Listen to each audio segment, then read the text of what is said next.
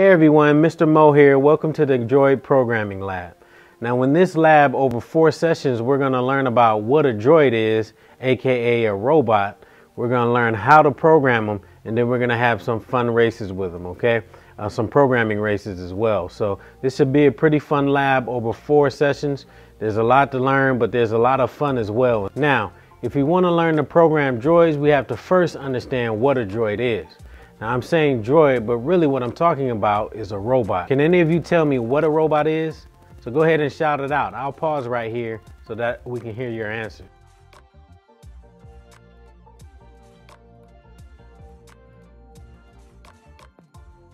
Well, the answer is not complicated, but there are many things to consider, right? So the word robot actually comes from the word robota, which means forced labor.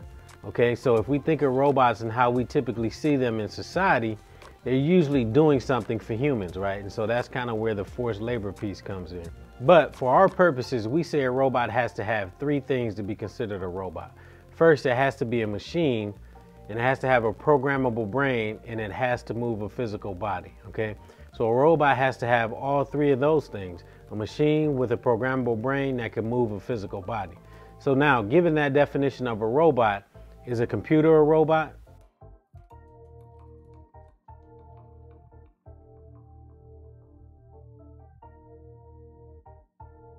No. Why not?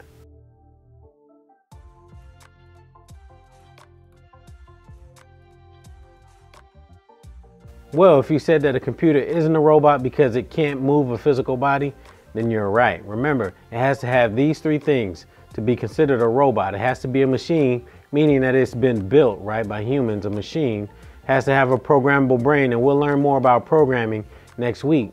And then it has to be able to move a physical body. And because a laptop computer or a desktop computer can't move itself, it's not really considered a robot.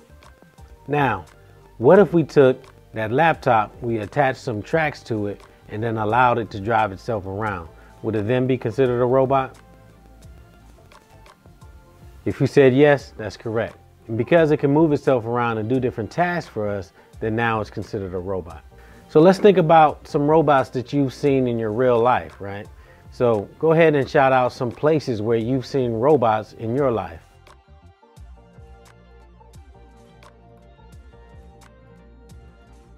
So whether or not you've actually seen robots or know how to recognize them, robots are actually used in a lot of places.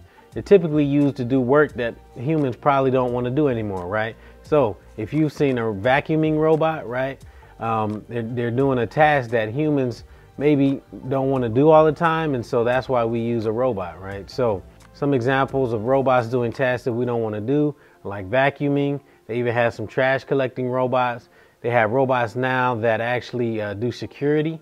And of course, you always see robots building cars in a manufacturing facility somewhere And now robots are even becoming our companions, right? So they're keeping us company, they're talking to us, they're hanging out with us, if you will. And so robots are doing more than just tasks, they're actually becoming social. And now robots are also driving cars around for us, right? And soon they'll be driving planes. So learning about robots now will definitely help you in the future as you decide what careers you want to go into. And then also because robots will be doing so much more for us humans as the years go by, it's definitely a good time to learn about robots. Now, one of the reasons that I became interested in robots is because I used to see robots on television and in movies all the time, right? And one of the most famous robots in the world is actually R2-D2. Now, what movie was R2-D2 in?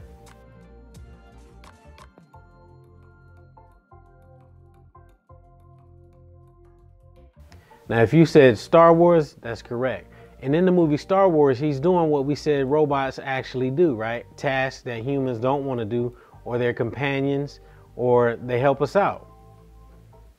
And so R2D2 is a robot in the movie Star Wars, and he does all of those things, right? And so another famous robot is WALL-E. If you've seen the movie WALL-E, then you know WALL-E's actual uh, job was to, to collect trash.